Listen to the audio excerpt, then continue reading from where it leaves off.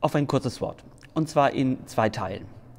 Zum einen zum Evangelium der Verklärungsgeschichte, das ja bekanntlich immer am Sonntag Reminiscere, also dem zweiten Fastensonntag, gelesen wird.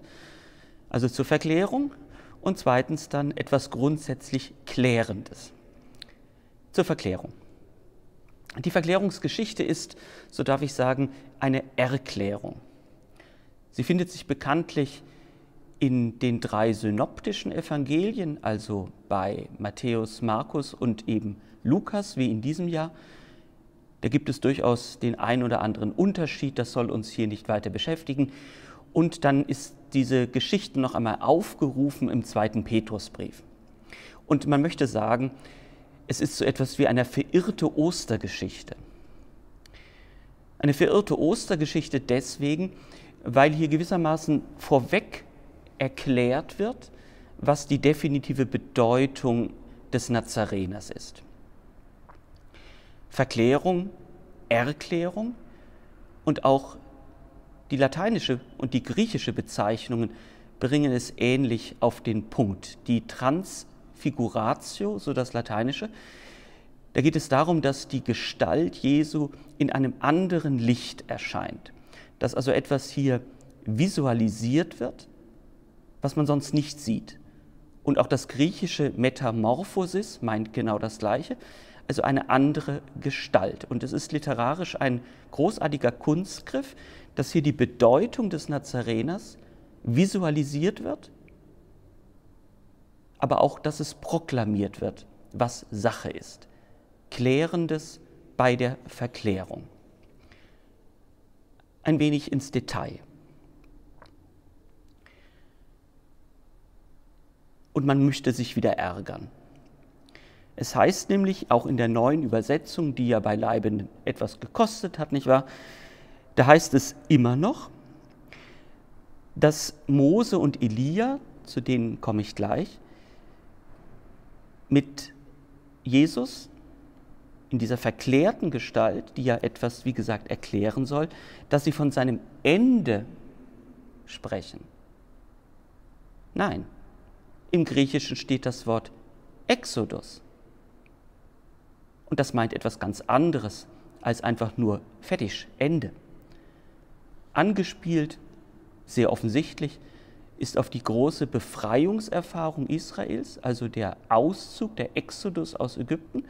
Und das wird nun eingespielt hinsichtlich einer definitiven Befreiung, nämlich aus dem Tod. Verirrte Ostergeschichte. Warum Mose und Elia? Warum nicht Karl-Heinz und Ingrid? Weil Mose natürlich für die fünf Bücher des Mose steht, wie wir die ersten fünf Bücher des ersten des Alten Testamentes nennen. Und Elia als der größte der Propheten steht für das Prophetenkorpus des Ersten Testamentes.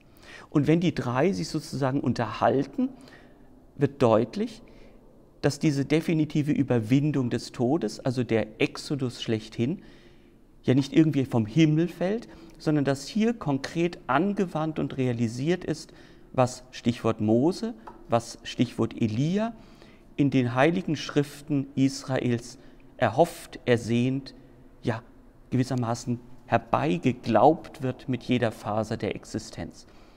Und auch Hieronymus, der Kirchenlehrer, etwas exzentrisch, hat es entsprechend formuliert. Er sagte, die Schrift nicht kennen, damit meint er die Schriften des Ersten Testamentes, heißt Christus nicht kennen.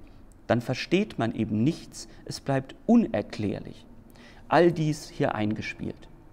Und dann nicht nur, dass Bedeutung visualisiert wird, also dieser Glanz, die göttliche Glanzwucht, wenn man so möchte, sondern dass eben auch proklamiert wird, also Gott selbst wird aufgeboten, um Klärendes zu sagen. Dieser ist mein auserwählter Sohn, auf ihn sollt ihr hören. Dieser ist Sachwalter dessen, dass ich Gott bin. Wäre Gott nicht Gott, hätte der Tod das letzte Wort. Das ist nicht der Fall. Und all dies soll hier wuchtig, literarisch großartig uns vor Augen gestellt sein. Klärendes, eindeutiges so ist es. Zweiter Punkt. Klärendes. Momentan gewinnen wir nicht zu Unrecht den Eindruck, dass die Welt aus den Fugen gerät. Nicht nur, dass die Corona-Pandemie uns immer noch beutelt, sie ist zwar in den Nachrichten etwas nach unten gerutscht, aber das dürfte das Virus schwerlich beeindrucken. Auch der entsetzliche Krieg in der Ukraine beutelt unser Gemüt und bringt wehrlose Menschen um ihr Leben. Hier wäre es hilfreich, auch Klärendes einzuspeisen, damit wir auch hier verstehen, worum es eigentlich geht. Zunächst, Corona, theologisch würde man sagen, dieser Kümmerling der Evolution, dieses eigentlich tote Virus, ist zu verbuchen unter dem, was man das Malum Physicum nennt, das naturhafte Übel. Ein naturhaftes Übel ist nicht böse. Auch ein Erdbeben, das würde unter dieselbe Kategorie fallen, ist nicht böse. Es ist ein Übel. Und angesichts solcher Herausforderungen suchen, wie ich gerne sage, intelligente Menschen nach Lösungen und die anderen nach Schuldigen. Was in der Ukraine geschieht, ist klassisch gesprochen das Malum Morale, das moralisch Böse. Böse ist nur etwas, wo es Akteure gibt, die handeln, die willentlich handeln. Auf wen ich anspiele, dürfte klar sein. Gleichwohl, auch diese Akteure haben Interessen. Und dann wird es spannend. Und zwar deswegen, weil sich hier dann etwas klären könnte. Die Verwerfungslinie, so meine These, ist schlicht und ergreifend die zwischen Selbstbestimmung und Fremdbestimmung. Zwischen freiheitlicher Selbstbestimmung und diktatorischer Fremdbestimmung. Um diese Alternative geht es. Mit offenem Ende. Es geht um die Frage, freiheitliche Selbstbestimmung, in welcher Welt und Gesellschaft möchtest du leben? Auf der anderen Seite, in welcher Welt und Gesellschaft sollst du leben? Einmal freiheitlich von dir, einmal diktatorisch von außen. Und man täusche sich nicht, das ist nicht nur politisch brisant in diesen Tagen, mit dieser Deutekategorie kann man auch die Zerwerfungslinien innerhalb des Christlichen dechiffrieren. Schlicht und ergreifend, bauen wir in die Zukunft gewissermaßen den verlängerten Exodus in die Freiheit hinein? Bauen wir darauf? Das wäre wünschenswert. Oder baut man, wie es gerne in traditionell sich verstehenden Gruppierungen propagiert wird, auf eindeutige, ewige Wahrheiten. Heteronom, fremdbestimmt oder autonom, selbstbestimmt. Das sind die Alternativen. Das ist die Verwerfungslinie. Und wenig überraschend, mit dem Gott, der in der Gestalt Jesu auf den Plan tritt, ist nichts zu gewinnen, kein Blumentopf, wenn man so möchte, mit ewigen Wahrheiten. Denn dieser Gott ist ein Gott, der in der Geschichte sich erweist und Geschichte ist offen. Zukunft. Für ewige Wahrheiten gibt es keine Zukunft. Da ist alles fertig.